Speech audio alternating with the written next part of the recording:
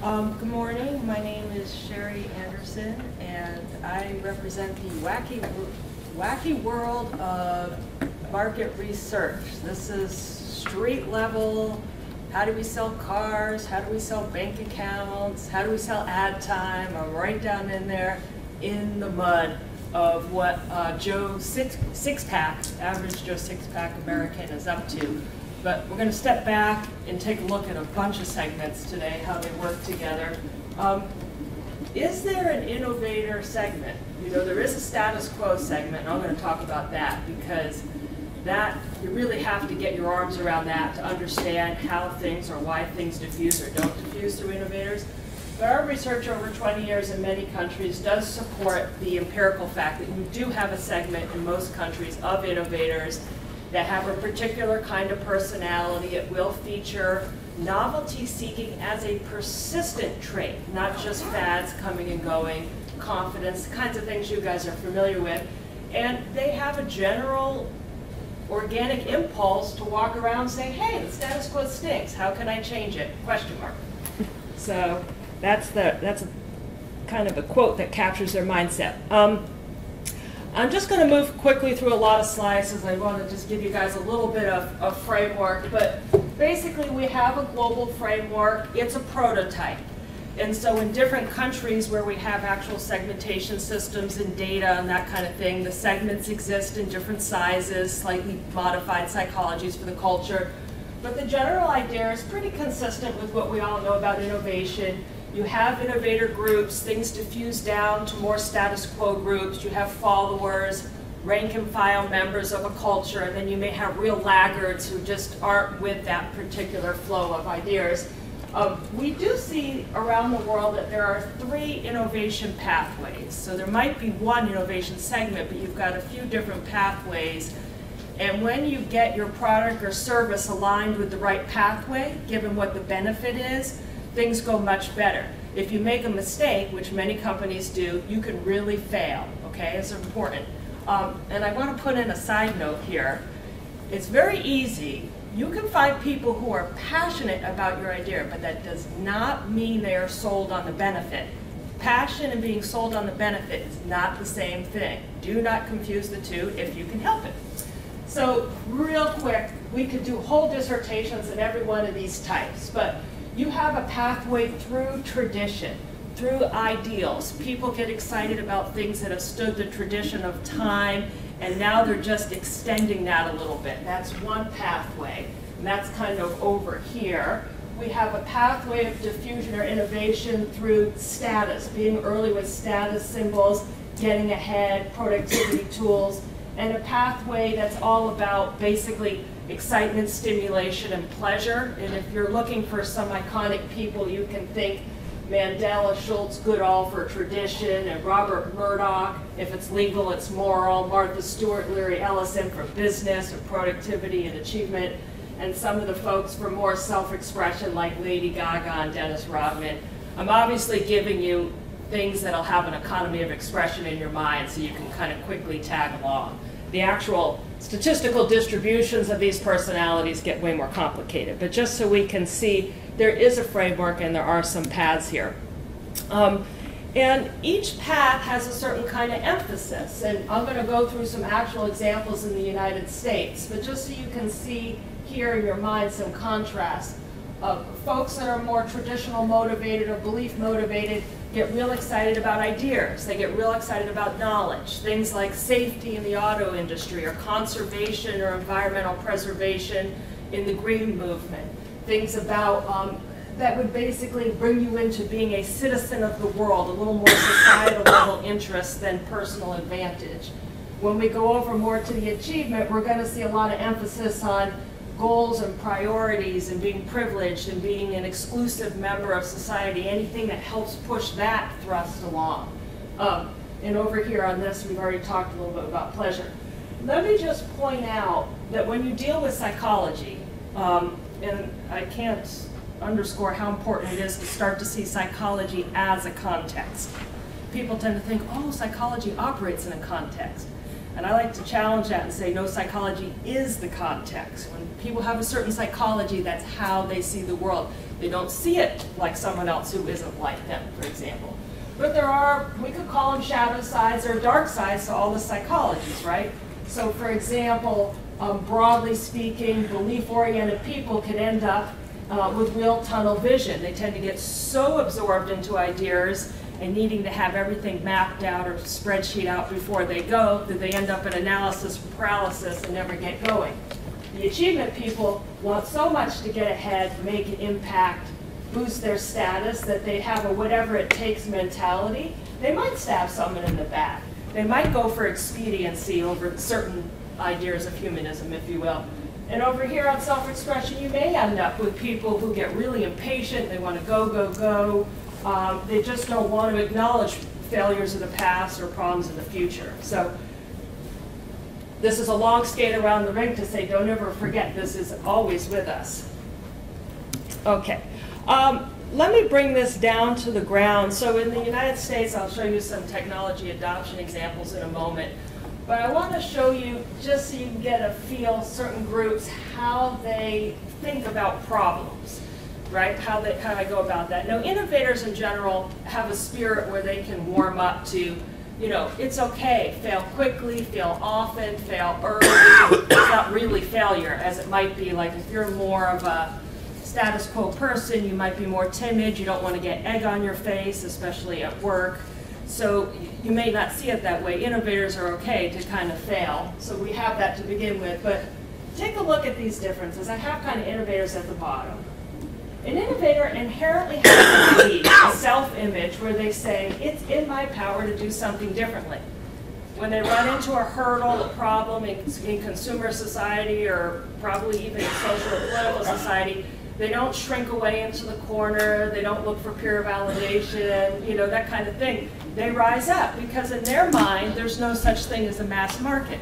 They're a market of one, and it's them. That's, that's how the thinking works.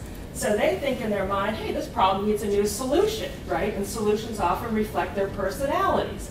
Obviously taken to the extreme, like a Steve Jobs or Warren Buffett, something like that. On the other hand, you can have more of the achiever group, which in the United States is the manifestation of the status quo psychology achievers. They have different names around the world. You get more of a thinking like, if the problem affects me, then how can I get some relief? So we've all of a sudden gone from whole new solution, I have the power, to being pretty me first, my family first orientation. First of all, it has to affect my personal world of jobs, recreation, transportation, and I'm not looking to find a new solution, I'm looking to get some relief from this thing. And this is a big chunk of most markets around the world. So you can see the thinking is so different. And they're thinking to themselves, well, I've just had a setback, how do I recover from a, from a fumble? So I to say football. Um, they are going to have a much harder time seeing beyond their own immediate problems. So like uh, Sharik and I were talking for a little bit, in the early days of presenting climate change to the American public, solutions were so global, or the thinking about it was very planetary, global, macroeconomic. That's not going to translate to a status quo achiever type person, way too global. Um, they're thinking, what is this going to cost me? What's the pocketbook benefit or drawback? And something like, oh, going green sounds great, but what about my job? Yeah, and right now, I should add that with many status quo groups around the world, one of the huge problems is they do put their finger out and check the weather temperature. So they certainly know on surveys they should be saying that climate change is a problem. That doesn't mean they're going to vote that way or act that way. So there's a lot of unpacking that has to go on about what's going on in most cultures, we have a tradition group. Here in the United States, they're called thinkers. Um, I can't remember what they're called in Nigeria. I have to look on the list, or in China. Yeah, traditionals, and in China, I can't, maybe the same name.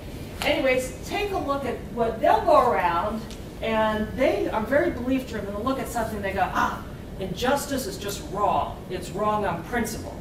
They're not trying to see if it affects them. They're not necessarily trying to change it right away, but they say injustice is wrong um, they have a real need to right a wrong. So that's where their energy is going to go. Um, violations of codes of conduct. Automakers should have safer cars. Government should have greener policies, this kind of thing. Um, and you're going to see a whole lot of emphasis on a desire for corrective action at the societal level. We say that these people want a good life instead of a good society. If I'm at a conference and a really high innovative type of ideals or tradition or thinking person is there and they raise their hand, I say, ah, would you care to better the blue of heaven? That's kind of how they're going to see things. So even in your own thinking, as you're maybe looking at ventures or you're working with people, in your own mind, even though there is a systematic way to do this, you can sort of say, I wonder which type of bucket of person I have, and it should influence how you present your ideas and so forth. Let's see what else I have here. Oh, um, really quick, some examples. Uh, so to the point about is there really an innovator segment in societies? Well, here's the United States. Carless lifestyles is a somewhat innovative idea about wanting to be able to walk most places and leave the car behind. Just take a look at this distribution. You've got 50% of people wanting that up there, and you can see the percentages really start to drop. All I'm wanting to show you here is that in data, this comes to life. This is real stuff, not just, uh, not just um, story, for example. How about autonomous cars or driverless cars? We did a project, um, actually that's some years ago, it was more recent than that. But the attitude, the idea was, it's obvious to me how a driverless car is better than a traditional car, right? Because people have to know if they're going to take on a new product, they have to be convinced of the benefit and also the competitive hurdle. Like, they have to know that this is better than what I currently have for some reason. Take a look at these numbers. Innovators at 19%. Here's your status quo group at 3%. So you see different, I mean, again, we could do a whole report on this, but I'm just trying to show you these attitudes, these psychologies play out in data. So that's driverless cars. Let's see, the internet going all the, let's go back to fall of 2001. By the way, when you're trying to showcase diffusion, you have to back up in time, right? Because you want to show there was the predictive validity. So in the fall of 01, we had about 12% of re adults reporting access to the internet from their homes. And you can see this is indexes, but innovators way higher. In particular, you have a little bit of a higher number in this center route, which was the achievement productivity type innovator. And um, you can take a look that they were leaders in the home market adoption for CompuServe AOL back in the day, using technology to get ahead in business, to use virtual solutions to press the flesh and do a little business networking and so forth. Okay, moving along. Okay, um, I'll give you one example now for each pathway. And so we talked about the ideals. This is basically just tradition, which we are looking at. I'm just showing you in particular for the United States.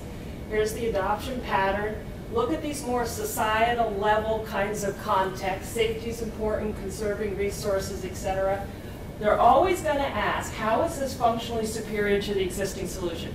They don't really care, for example, that it be early with a status symbol. It doesn't have to have fun. It doesn't have to be Tesla. They want to know there's a functional point of superiority. So an example of early diffusion here was the Toyota Prius. Blew away coming in through this more traditional belief side for environmental conservation, uh, reduce emissions, that kind of stuff. The data tells the story there. So there you go on that one for Prius. Moving along here, they were talking about the pathway of achievement as another pathway. Let me put your attention here. Adoption happens. And when your achievement in a social context, we're talking about the intersection, even at a very high level, of approval seeking and the embrace of transformation. Things have to actually give people a boost in terms of your social status. And I'll show you a few examples here for the achievement level. Um, we have writing an online blog. In 06, we had about 1.2% of adults reported writing a blog. Look at these numbers over here. It's an early diffusion came right in through the achievement context. It's perfect. An online blog was a puzzle piece fit with a way to do business network, business networking. So you can promote your career, your business, things that are very achiever oriented. You see it right there in the data. I'm obviously showing you really clear examples because we have, I probably have 30 seconds left, Ade? Yeah. Okay. Diffusion in the context of novelty and stimulation here in the United States that has a particular run, and you can looking at downloading podcasts from the internet. Had all of its early diffusion way over on the right side. Its motivation was for stimulation. Okay, let's see what else I can show you. Um, I'm going to just pass along a few points because I know part of the theme today is ecosystems. So when we're thinking about developing a whole innovation ecosystem, we want to think about, um, real important, this notion of cross-influence.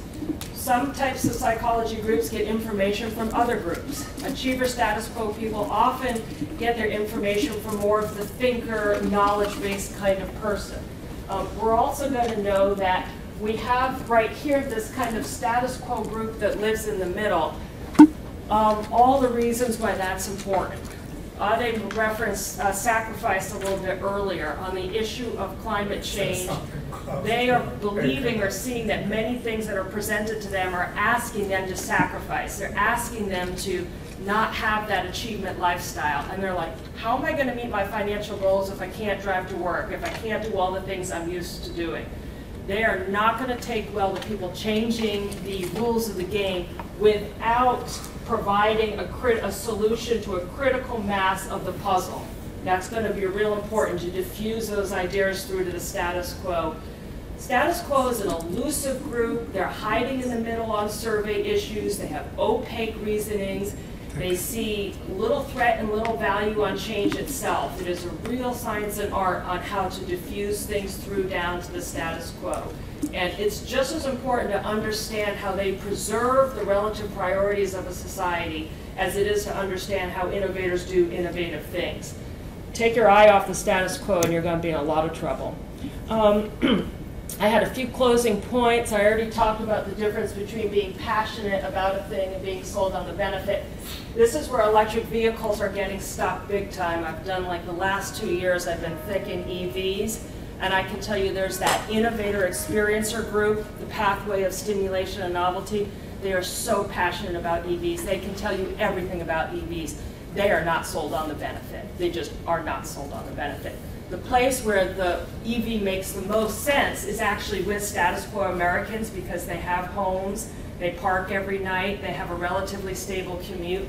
All their lifestyle behavior is a puzzle perfect fit. They're not passionate about it. And I should also say, too, that it's quite hard for people. Let me show you how much entrenched thinking can kind of uh, create a context in the mind. People have been driving gas cars, they stop at a gas station, right? That's what they know. Even innovators know that. Now all of a sudden you say, hey, guess what? Every morning you start with a fresh tank of gas, e.g. a new 300 miles or a new 200 miles. It doesn't compute yet people are so acculturated to stopping and getting gas outside their home, the fact that you plug in and you start each morning fresh with the equivalent of a fresh tank of gas, even for, even for people at the top of the spectrum. So it's hard to break schemas, yeah? It's hard to break schemas. Um, the status quo segment, talked about them a little bit. Keep in mind, this happens a lot. Status quo customers are not just dimly lit innovators.